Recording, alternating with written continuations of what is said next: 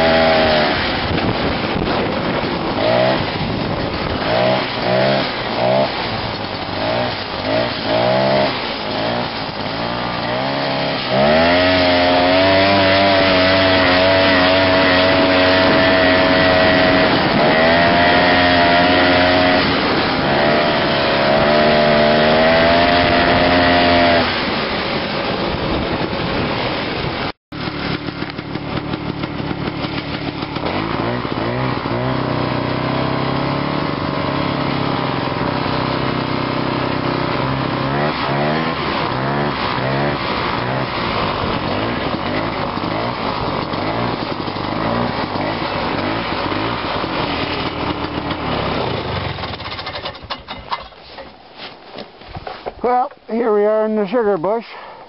Looks like uh, neighbor finally looks like the neighbor finally got out this week and put out his sap lines. It's not above zero today. It's probably minus three, minus four. So I'll switch my cameras over here in a sec. So anyway, here's a new kind of taps, newer technology there. There's a line. And if you notice, it's dropping downhill there. And over there, that's the main line that flows out to the collector station. But, uh, so everything flows downhill here. But, uh, there's another line across. We used to be skidooing through here last week, but, uh, you can see here, that's the main line there. It curves and he ties in all the little lines. And here, you can see it starts starts flowing downhill there. And then down there is a white line, so we must have a connection there to go all the way from all the way up there. But uh, yeah, quite an operation there. So yeah, we uh, we were through here last weekend there, but uh, we'll stay out of here this week. He's got his lines across, so uh, yeah. But all in all, having a pretty good run so far there. Can't complain about that. Anyway, so here we are outside one of the collector stations, and we that's where the line comes from, comes all the way here. So we'll take go inside. Anyway, so yeah, here we are inside. There's the tank. Here's the pump. There's the line. So yeah, that's the big tank they collect the sap, and then he picks it out. I think at that end puts it in a big tank on the tractor to take it away. Anyway, so right there you see the tail end of the tank and that's where you he hooks on and pumps it into a bigger uh, bigger tank to take it to the take it to cook up there. Thanks for watching and stay tuned for more adventures.